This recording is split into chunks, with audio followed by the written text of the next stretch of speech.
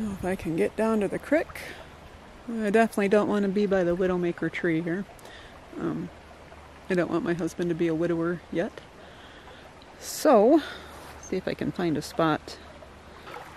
When I'm looking for a place to think, I sneak out sometimes. and it doesn't happen often because the kids are usually on my heels saying, Mama, Mama, I want to go. This morning I needed to sneak out though. I needed to, to get down by the creek and spend some time in prayer and, and thought and just just quietness. You know, just blessed, blessed quietness. Um, the creek, the creek holds this peaceful sound. It's, you know, the soothing shells. Oh, I had a soothing shell years ago. I used to love it, and I would play the babbling creek um, or the thunderstorm, and I would sleep so deeply. Uh, we had a lot of rain. Turn the camera around here. We had a lot of rain. Two day for the past two days. It ended late yesterday in the evening. Um, the quick, creek was really swelled up, although you wouldn't be able to tell it now. Um, it, it, drains into the lake, goes into the Great Lake. Uh, a couple miles from here. The way the the way the road goes, the way the crow fl crow flies, we're probably not even a mile away. At night, you can hear when the lake is pounding the shores. That's another soothing shell, cell, another soothing shell sound. All right, but at any rate, I don't know what, you know, I don't have a plan for this video. I know it's been several days since we put one out, and I just thought maybe I should throw an update out.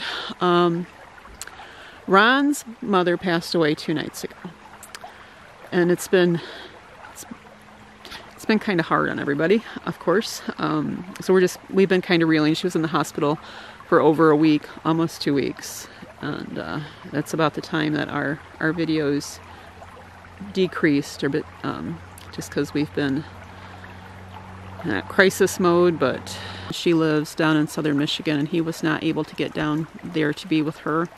Um, we had some vehicle repair that needs to be done, and he wasn't able to get the vehicle in until today.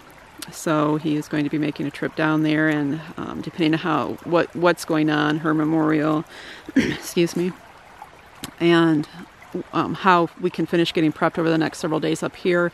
Uh, the children and I may go down if we can't get enough things done to have RJ set up to, to kind of do a one man show for everything between business and the homestead. Um, we may not go down. It may just be that it's simpler for and quicker for him to to go on down by himself or with Josiah. Excuse me.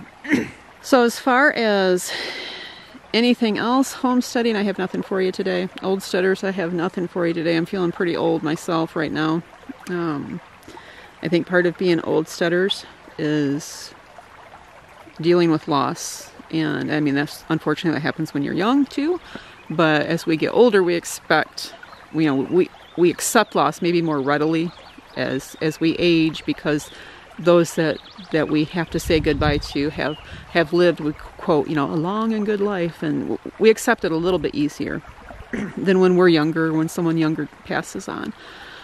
Um, I think those are time those are times that we all get to evaluate our life and what we're doing with it what our thoughts are our our relationship with the Lord is is it where it needs to be is it where it should be? Is it where you want it to be? Um, is it time to fill those dreams because life doesn't last forever? you know, it's.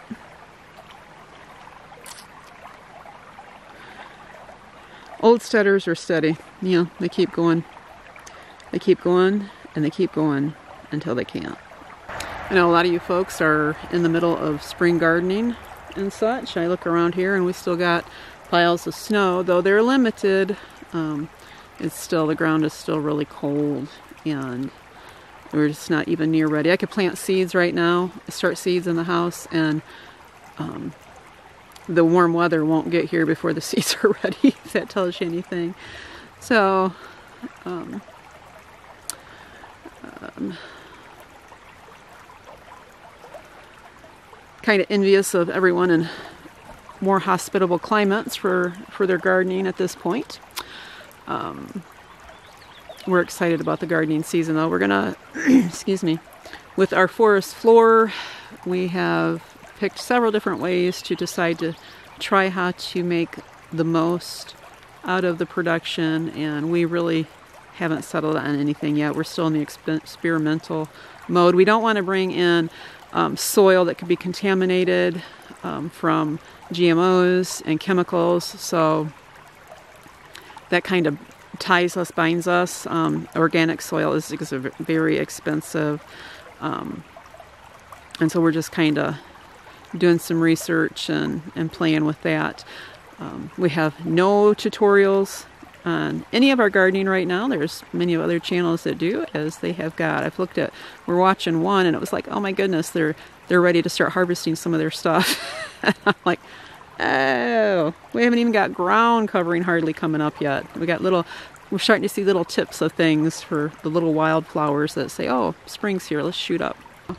I just wanted to give a quick update.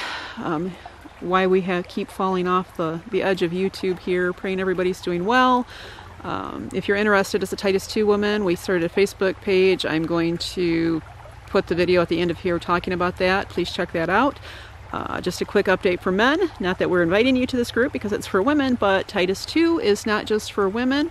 So if you are a Christian man, make sure you read that and hear what the Lord has to say for your direction and your leadership.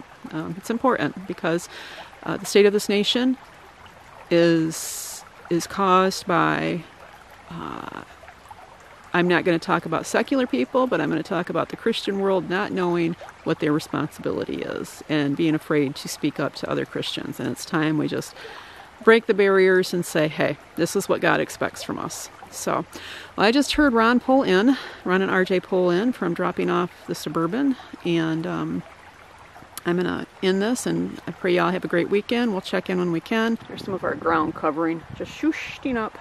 That's about all the growth we got here, guys. So much for gardening season at this point in the UP without a greenhouse.